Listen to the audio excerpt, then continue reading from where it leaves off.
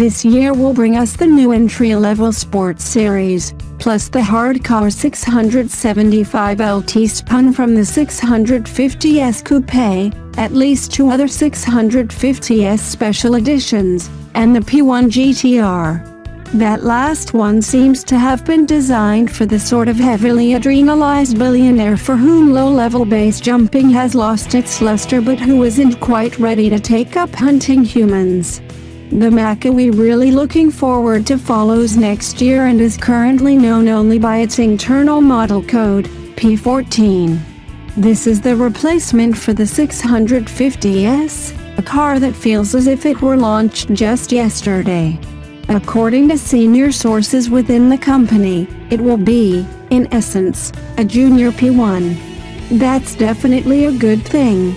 The 650S was effectively a reworked 12C, although McLaren carried on selling the earlier car alongside it.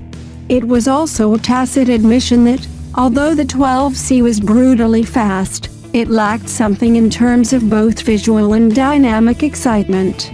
The 650S was a huge improvement, but we're told the P14 will be in a whole different league.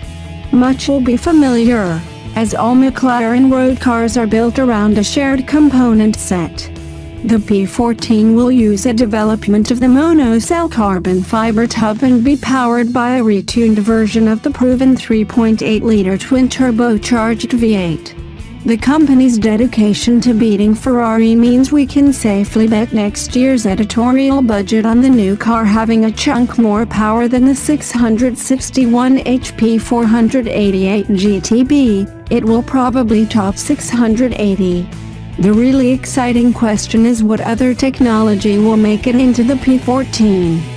McLaren's increasing production has already dramatically reduced the cost of its carbon components, a dividend that can be diverted to other parts of the new car.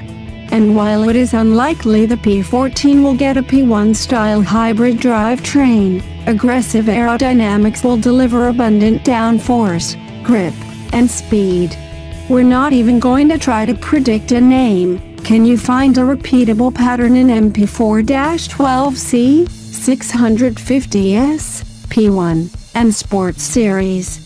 But we can tell you that P14 versus 488 GTB will be one of the most eagerly awaited supercar battles in recent memory.